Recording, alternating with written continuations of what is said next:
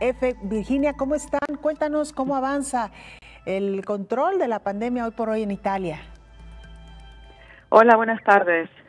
Pues sí, en Italia eh, se prosigue el camino de la desescalada o, como se puede decir, la vuelta en lo posible a la normalidad después de casi tres meses de pesadilla y confinamiento, cuando ya hay 30, 33.000 muertos y 230.000 contagios totales, este lunes se ha iniciado una nueva fase con la reapertura en casi todo el país de los gimnasios, centros deportivos y piscinas, aunque sí con estrictas medidas de seguridad.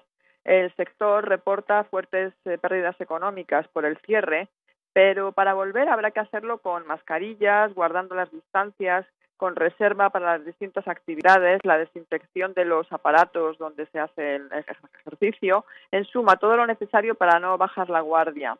Al igual que en los restaurantes, en las peluquerías y en los comercios, se aconseja también tomar la temperatura corporal a la entrada a los clientes. Hace una semana precisamente habían abierto ya las tiendas, los restaurantes, las peluquerías, también con todo este tipo de medidas de seguridad. Y aunque mucha gente sigue teletrabajando desde sus casas, hay muchas actividades que ya volvieron también a trabajar anteriormente, como son las fábricas o la construcción, porque por razones de que es imposible hacerlo desde, desde la distancia.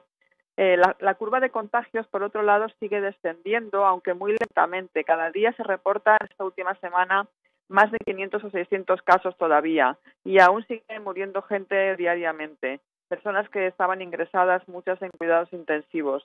Por ello, las autoridades eh, no les gusta ver algunas escenas que se han registrado, por ejemplo, este fin de semana en varios lugares.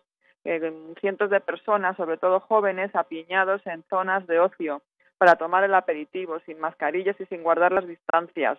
Entonces se ha decidido el gobierno reclutar a unos 60.000 voluntarios para que se controle que se cumplan las medidas de seguridad.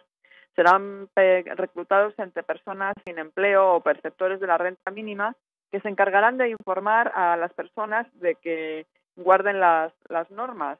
Estas personas portarán un distintivo de protección civil y tratarán de entrar a la gente en razón y en caso de encontrar resistencia deberán llamar a la policía municipal.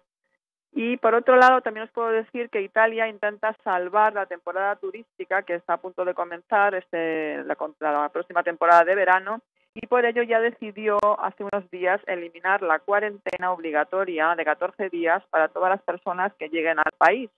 Y a partir del 3 de junio se abren las fronteras y ya pueden comenzar a operar los vuelos internacionales.